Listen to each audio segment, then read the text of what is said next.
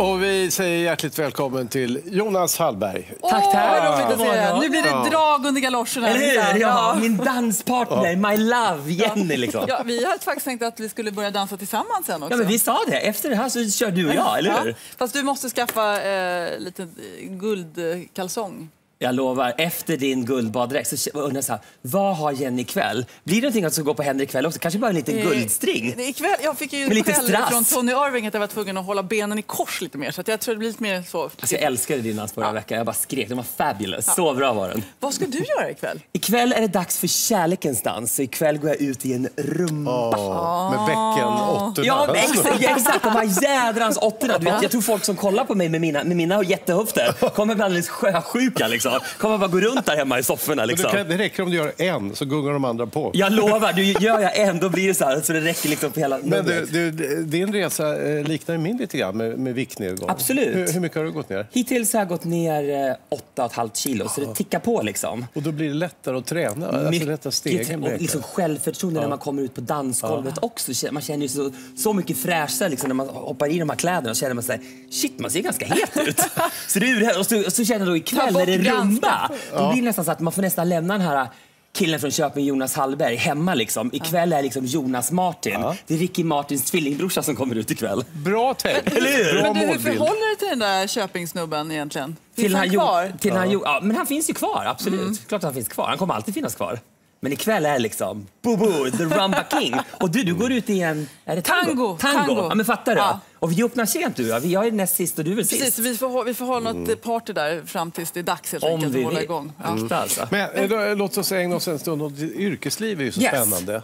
Be, berätta, hur lever du ditt yrkesliv? Jag menar, stylist i Hollywood, menar, det är fantastiskt. Det var en lång resa dit. Liksom. Jag bodde i London i åtta år eh, och jobbade där, kom tillbaka till Sverige. Sen fick jag en agent i Hollywood så började jobba med stjärnor, alltifrån Catherine Zeta-Jones till Sharon Stone till och det Cameron händer ju inte bara sådär. Utan Nej, gud, det är lång vad bygger väg, det liksom. på? Bygger det på att man har gjort jävligt bra grejer? Har du gått och på en jävla massa bilder? förlåt, cocktailpartys och sådär? Nätverkat? Det har man också gjort. Det, det är klart att man måste nätverka, men jag har aldrig varit så här, jag, det finns ju en jättekänd stylist i Hollywood som heter Rachel So. Och hennes grej har varit väldigt mycket att hon vill hänga med sina stjärnor och gå ut på röda mattan och synas på bild och så vidare. Men jag har aldrig gjort det med mina Hollywoodkändisar utan jag har haft dem som, det har varit mina kunder. Så det har varit mitt liksom office work.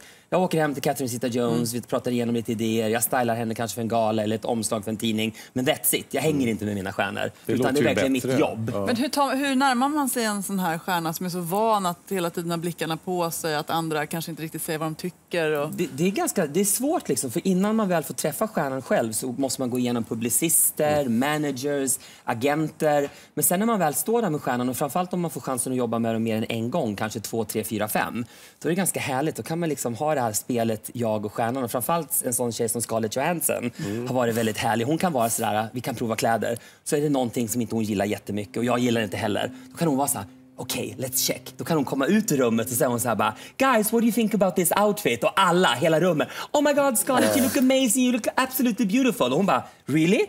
Det tycker inte jag och Jonas. Vi tycker den här var lite sisådär. Oh my god, you're right, you're so right, you're so right. Så Vad det är jättesvårt för stjärnorna i Hollywood också. De har ju så mycket ja-sägare.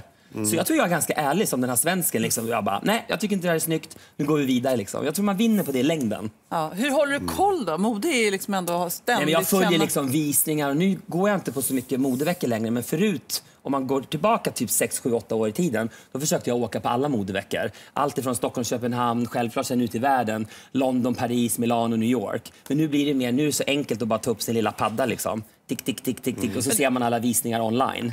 Alla som drömmer om glamour går ju liksom i taket när man lyssnar på dina berättelser om ditt liv. Men vad är glamour för dig nu för tiden? Åh, glamour för mig nu det är att man har lite så här ledig tid och man kan ta sin kille och min lilla hund, min lilla chihuahua Chiquita och man åker till en härligt ställe och går på en strand och sitter och dricker en pina colada, får trycka i sig lite burritos och någon enchilada och doppa Dansa en lite dipp. rumba kanske? Exakt, rumba. Du pratar redan om Exakt. Mexiko, låter Ja, som. absolut. Du ska till Mexiko, Ja. ni flyttar ner dit. Yes, så Var då efter där då? eh, Let's Dance, jag kommer bo i, vi ska bo i Mexico City Mhm. i ett år. Mm. Jag ska jobba som eh, medverkande stylist, eller contributing fashion editor som det heter. Mm. Delvis på Vogue Mexico under ett Wow. års tid.